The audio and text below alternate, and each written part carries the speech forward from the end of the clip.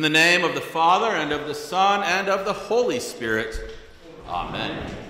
Almighty God, to whom all hearts are open, all desires known, and from whom no secrets are hid, cleanse the thoughts of our hearts by the inspiration of your Holy Spirit, that we may perfectly love you and worthily magnify your holy name through Jesus Christ our Lord. Amen.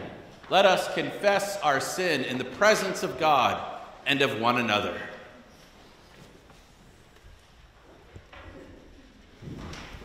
Most merciful God, we confess that we are captive to sin and cannot free ourselves. We have sinned against you in thought, word, and deed, by what we have done and by what we have left undone. We have not loved you with our whole heart. We have not loved our neighbors as ourselves. For the sake of your Son, Jesus Christ, have mercy on us. Forgive us, renew us, and lead us, so that we may abide in your will and walk in your ways, to the glory of your holy name. Amen. In the mercy of Almighty God, Jesus Christ was given to die for us, and for his sake, God forgives us all our sins. As a called and ordained minister in the Church of Christ, and by his authority, I therefore declare unto you the entire forgiveness of all your sins, in the name of the Father, and of the Son, and of the Holy Spirit. Amen.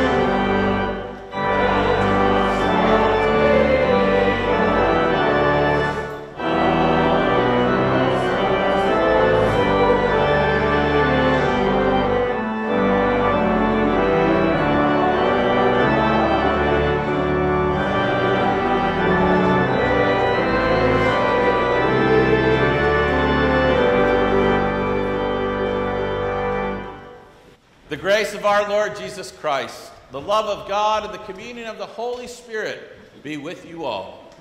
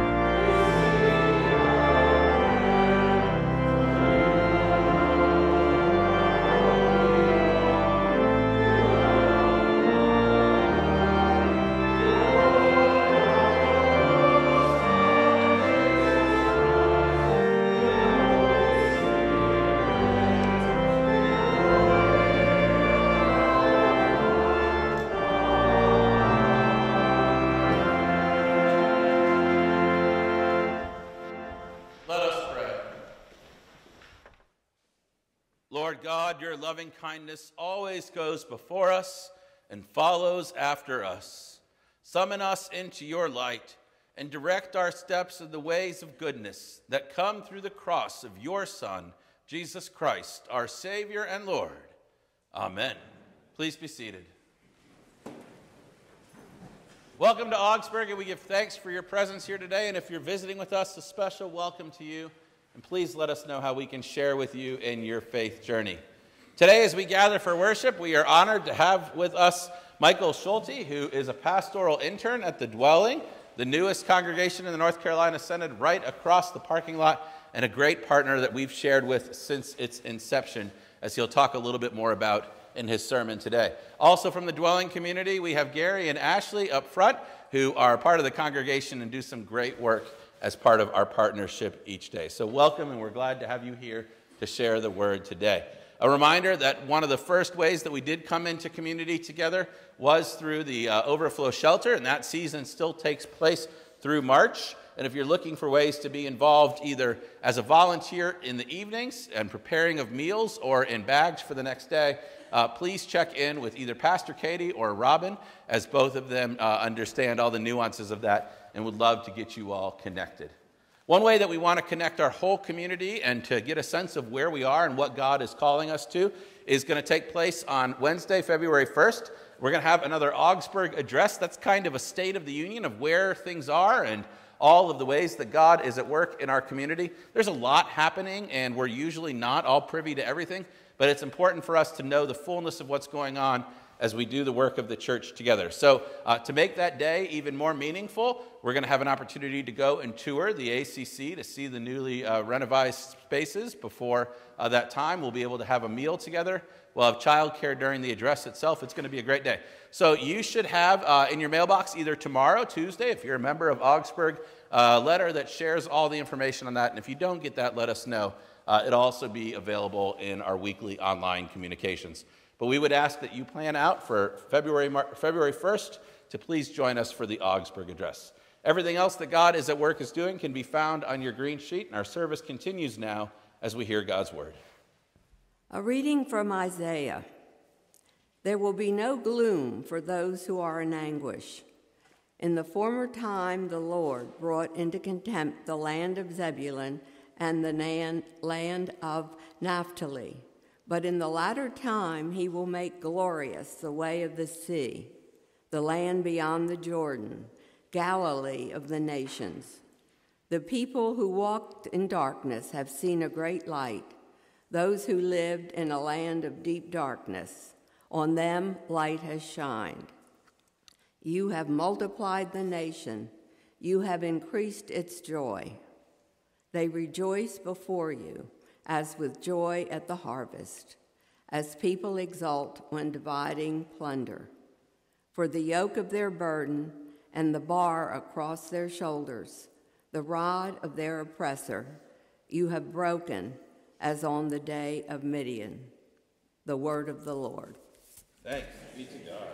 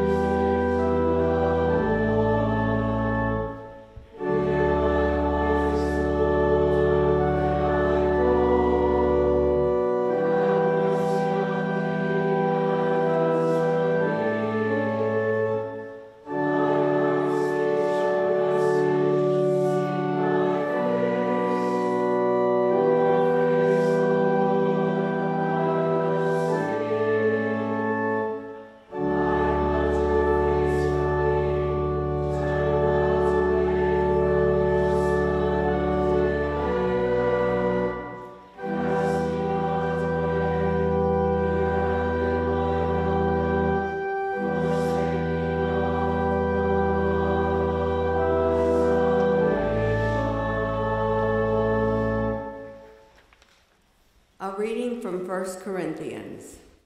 Now I appeal to you, brothers and sisters, by the name of our Lord Jesus Christ, that all of you be in agreement, and that there be no divisions among you, but that you be united in the same mind and the same purpose. For it has been reported to me by Chloe's people that there are quarrels among you, my brothers and sisters. What I mean is that each of you says, I belong to Paul, or I belong to Apollos, or I belong to Cephas, or I belong to Christ. Has Christ been divided? Was Paul crucified for you? Or were you baptized in the name of Paul? I thank God that I baptized none of you except Crispus and Gaius so that no one can say that you were baptized in my name. I did baptize the household of Stephanus. Beyond that, I do not know whether I baptized anyone else. For Christ did not send me to baptize, but to proclaim the gospel, and not with eloquent wisdom, so that the cross of Christ might not be emptied of its power. For the message above the cross is foolishness to those who are perishing, but to us who are being saved, it is the power of God. The word of the Lord. Thanks be to God.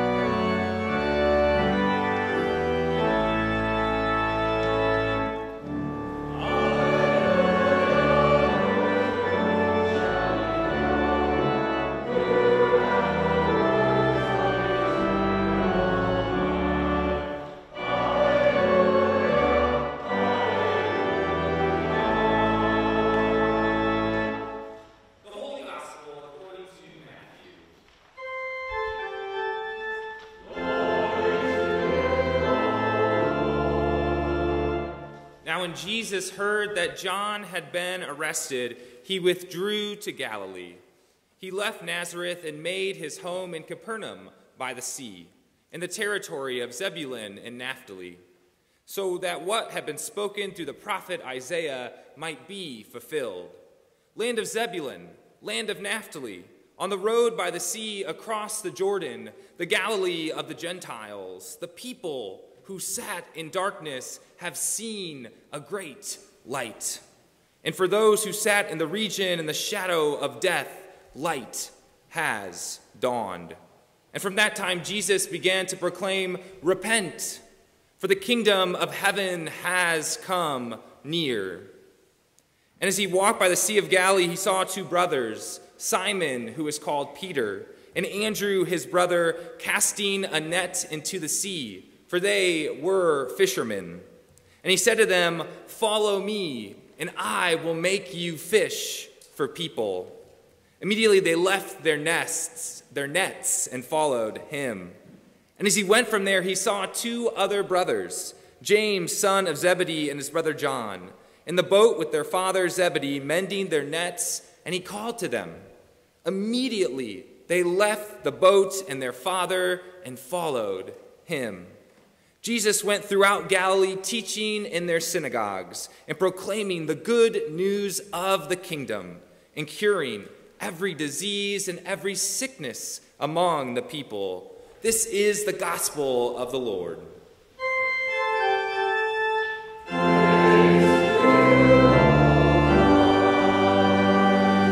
Michael, Well, good morning. My name is, is Michael Schulte and I am the, the pastoral intern at the dwelling right across the street on Broad Street.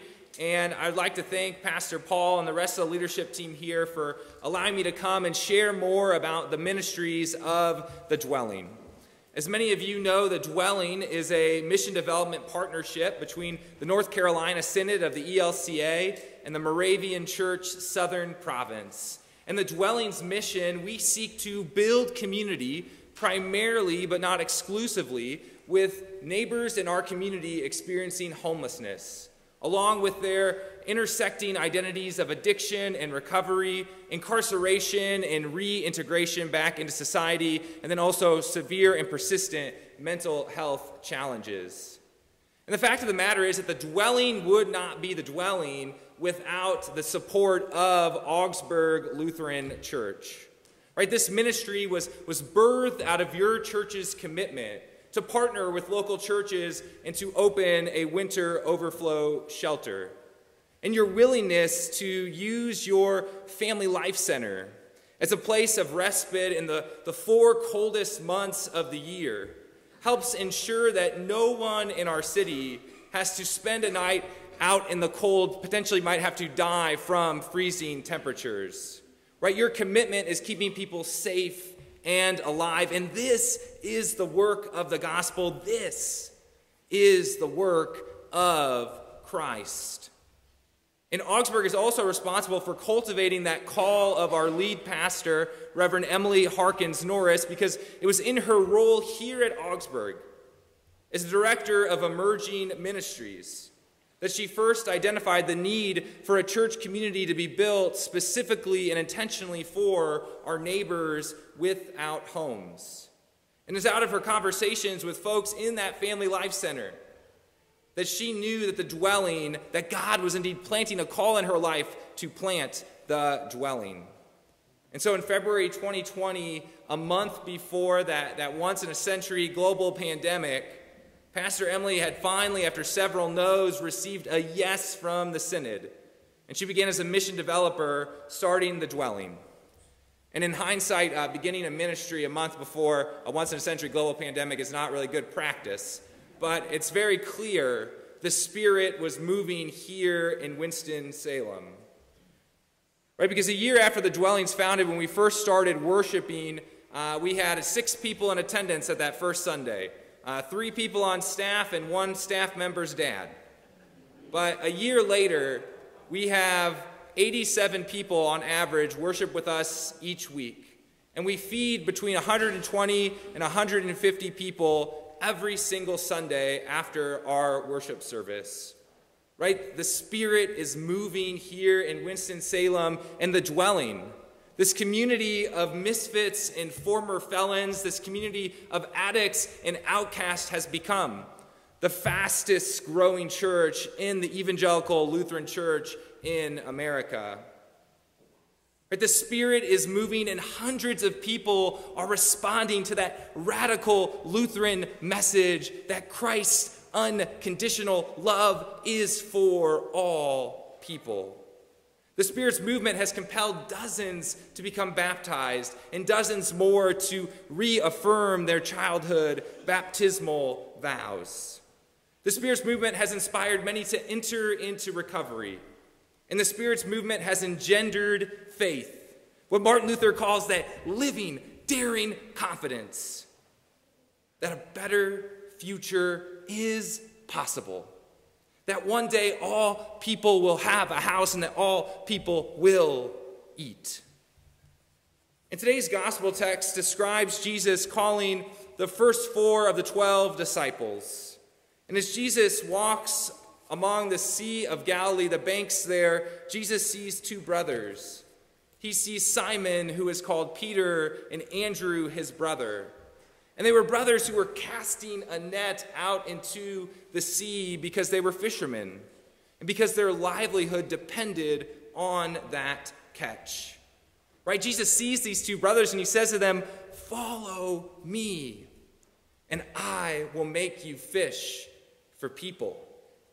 And Jesus' message must have been pretty compelling because as soon as he says that, the Bible says that the brothers, quote, immediately left their nets and followed Jesus.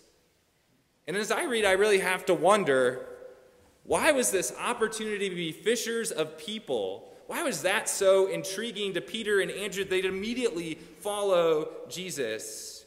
And a lot of times when we hear these, this, this lectionary passage being taught in churches, we see fishers of men, and modern American Christianity says that means we got to go out and convert the souls of the lost. But that might not quite be. In the Hebrew Bible, especially the prophetic texts, texts which Jesus and his disciples would have been intimately familiar with, to be a fisher meant to use your hook to root out corruption. It was an image which conveyed that one day people who participate in oppression will be destroyed. And so in the book of Amos, God says to the people who, quote, oppress the poor and crush the needy, God says to them, The time is surely coming upon you when they shall take you away with hooks, even the last of you with fish hooks. And in Amos, to be a fisher of men meant that you used your hook to root out those in the community who participate in the oppression of the poor and needy. It meant to stand up against the powers of this world and to level the playing field for those suffering at the margins. And then in the book of Hosea, the prophet condemns Israel for relying on foreign nations instead of aligning themselves with the purposes of the living God. The prophet writes, As Israel goes, I will cast my net over them. I will bring them down like birds of the air. I will discipline them according to the reports made by their assembly. Right? In Hosea, to be a fisher of men means to bring down destruction on those who align themselves with the powers of this world instead of aligning themselves with God. Hosea condemns those who care more about wealth and status and prestige than helping the most vulnerable in the community. And so when Peter and Andrew, two lowly fishermen, two outcasts who sweat each day under the heat of the sun, fighting day in and day out to make enough money to survive. When these fishermen hear Jesus say, Follow me, and I will make you fish for people, that message is so captivating. It's so intriguing to them because they are tired of suffering. They are tired of living as religious and ethnic minorities in the Roman Empire. They are tired of living in a place which is not set up for them to succeed. Right? Their wrists are tired of casting out nets. Their arms are worn from pulling in another catch. They are living in a world which names them as poor, as lowly, as unworthy, and they are ready. They are ready for the world to turn. They are ready for God's reign to be realized here on earth. And so today, in a world which names our neighbors without homes as unworthy, in a society which blames the problems of the poor on the people themselves, in a city which is built for the pleasure of the privileged, the dwelling seeks to recast the narrative. The dwelling seeks to be fishers of people. The dwelling seeks to root out oppression and corruption so that God's reign, albeit a really feeble glimpse, that God's reign could be a reality here and now in Winston-Salem and beyond. And we enact this feeble glimpse of this coming reign of God by each week, inviting our people to bring their brokenness, right? Their mental health history, their criminal record, their homelessness. We invite them to bring it all and to lay it at the foot of the cross because we believe that Christ can indeed redeem it all. And we dare to believe that no matter who you are or what you have done, that Christ names you as a worthy and beloved child of God who deserves a second chance.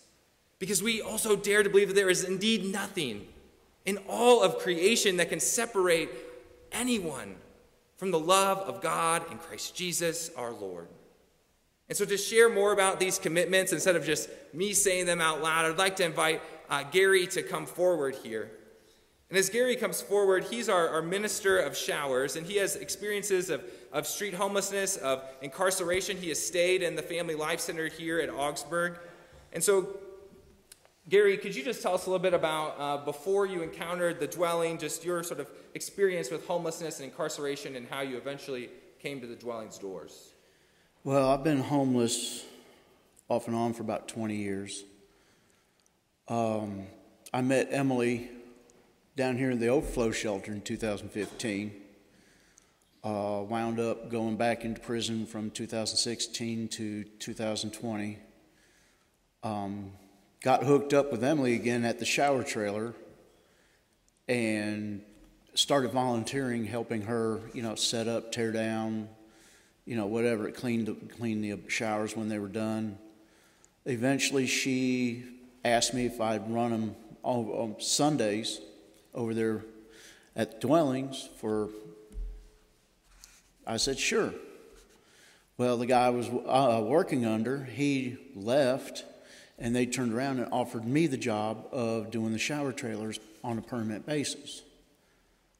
And I have enjoyed it ever since I started volunteering.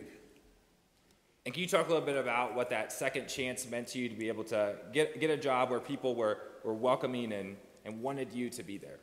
A lot of people, society mainly, has a preconceived notion that homeless people are useless. That's not true. I was built to work. I love to work. I enjoy it. And when Emily gave me that second chance at a job to help me uh, get a paycheck, get back on my feet, uh, right now I'm on a boarding house. I, that's all we all we want is a second chance. They don't look at my past. They never looked at my past, and they say, "Okay, he wants to work. Let's give him a job." And I thank them every single day for it. And can you talk a little bit about? So we obviously just moved into our new building, and we're so thankful for the support that that Augsburg has given our community. So can you talk a little bit about what the new building means to you? It's like uh, whenever you go into it, Emily welcomes you with open arms. That you feel safe in there. If you feel like home. Um, that new building is fantastic. I mean, I help with some of the renovations. I help painting, uh, help move furniture around, help uh, put cabinets in, help take them out, and it just to help go from point A to the finished product to see what you've actually done, to see where it was and, and where it is now, it's just a sense of accomplishment. Awesome. Well, I know that we're a Lutheran, but if we could give Gary a round of applause for having the courage to share. Thanks, bro.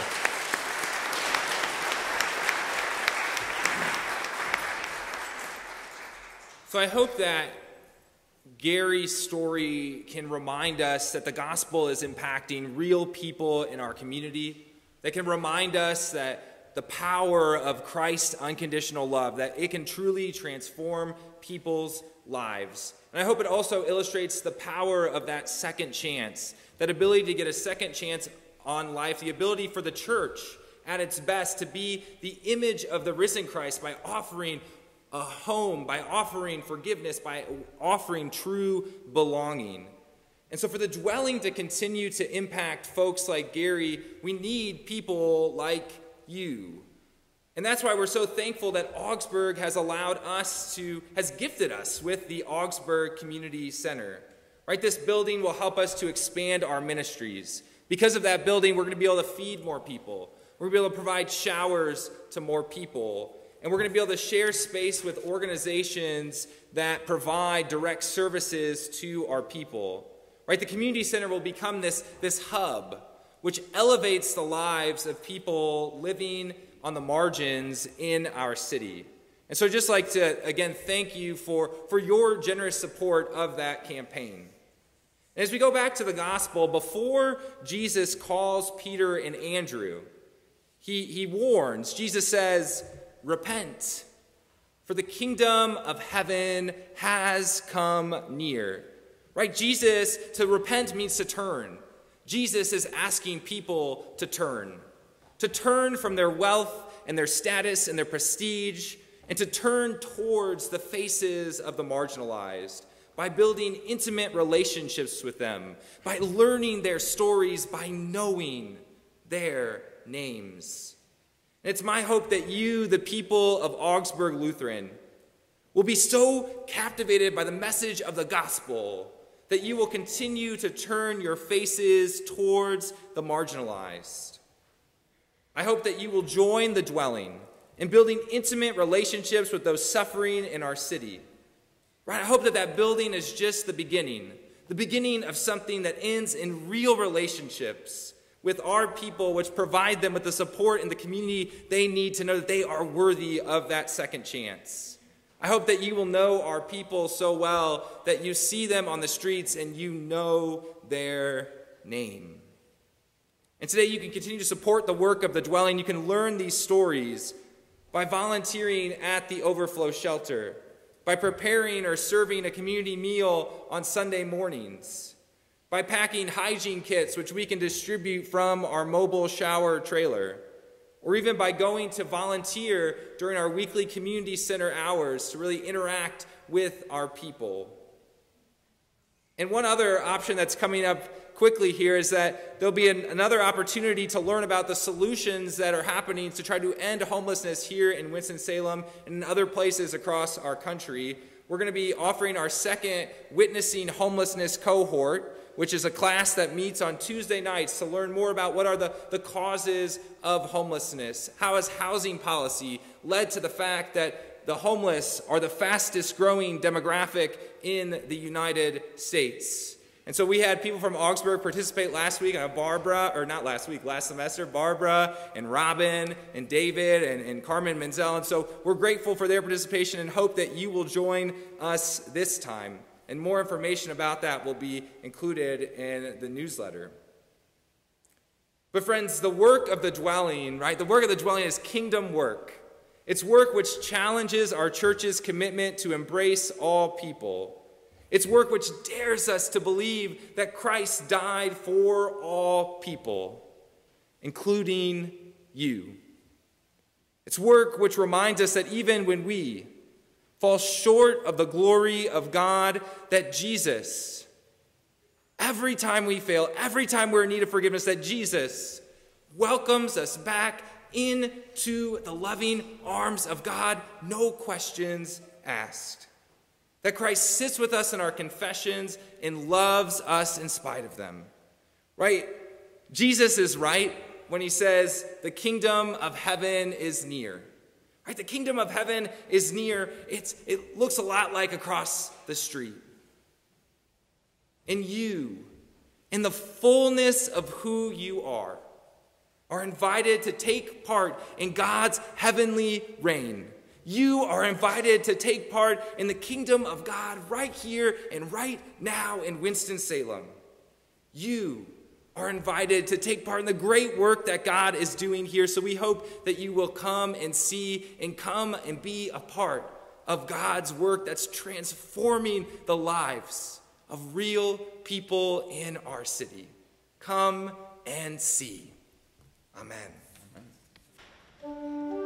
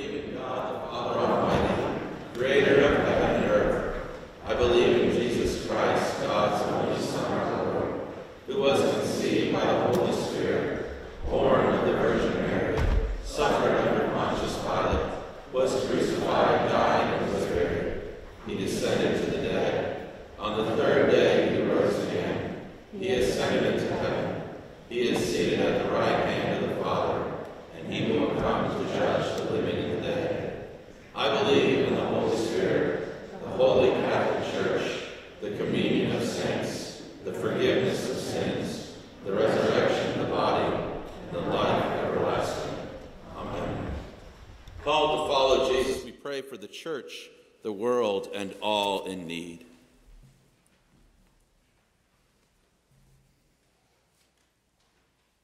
Make your church one in purpose, proclaiming the message of the cross. Help us to work together across differences and energize ecumenical partnerships locally and across the world. Lord, in your mercy, in Christ, your reign comes near and calls all to repentance. Break the rod of the oppressor in every nation. Dispel the shadow of death in places of war and persecution. Grant leaders who lift the yokes that burden those in need. Lord, in your mercy, be a stronghold for those in trouble and a rock for all who are afraid. Rouse communities to care for neighbors who need shelter, are facing maltreatment, or are isolated and lonely. Today we lift up to you Tommy Napier, Anne Marie Sneed, Ruth Marie Kinley, Susie Walden, Sue Hill, Pamela Barney, Bobby Cashin, Gray Boyette, Emily Wollner, Sharon Schoderbeck, Terry Hayworth, Tony Myers, Phyllis Atkinson, David Johnson, and all who we lift up on our lips and in our hearts. Lord, in your mercy, sustain the ministries of this congregation and all churches in this community. Especially this day, we lift up to you the new work being done at the dwelling. Nurture each congregation's unique witness to your presence. Foster mutual respect. Inspire our cooperation in loving our neighbors. Lord, in your mercy, we praise you for the faithful who have gone ahead of us, both known and unknown. Help us to leave our nets and follow, and bring us with them to the fullness of your promise of eternal life. Today we remember Mary and Morgan, Sarah Wire, Keith Bowman, Chris Amarini, Nancy Julian, Terry Cota, Joshua Todd, Clark Comer. Lord, in your mercy, we bring to you our needs and hopes, O God, trusting your wisdom and power revealed in Christ crucified. Amen. The peace of Christ be with you always. Please be seated.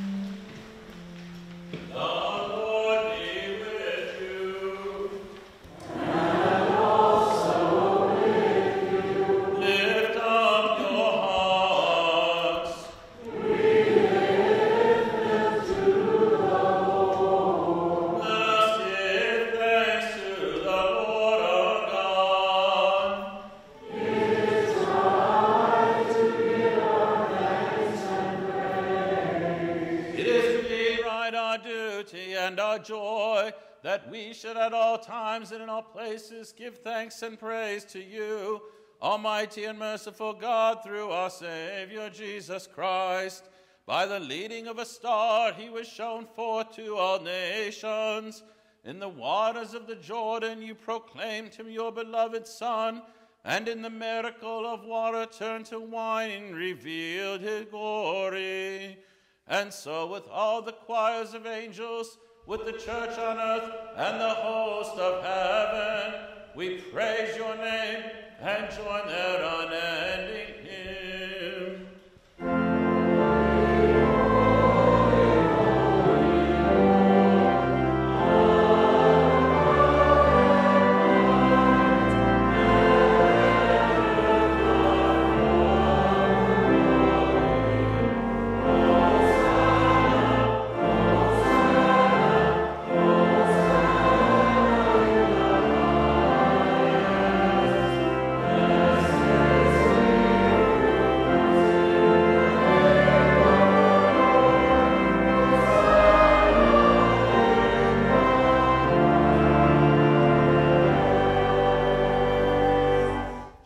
Holy, mighty, and merciful Lord, heaven and earth are full of your glory.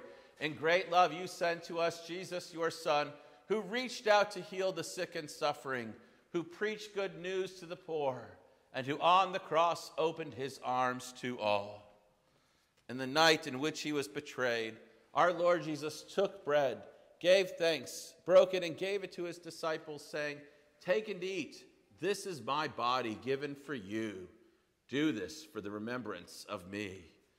Again, after supper, he took the cup, gave thanks, and gave it for all to drink, saying, This cup is the new covenant in my blood, shed for you and for all people for the forgiveness of sin. Do this for the remembrance of me. Remembering, therefore, his death, resurrection, and ascension, we await his coming in glory. Pour out upon us the spirit of your love, O Lord, and unite the wills of all who share this heavenly food the body and blood of Jesus Christ our Lord, to whom with you and the Holy Spirit be all honor and glory now and forever. Amen. Lord, remember us in your kingdom and teach us to pray. Our Father, who art in heaven, hallowed be thy name.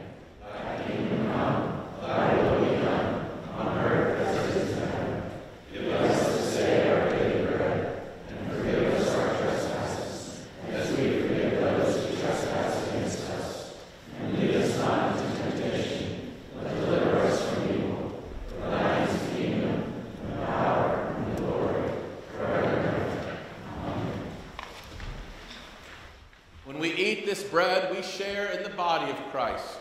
When we drink this cup, we share in the blood of Christ.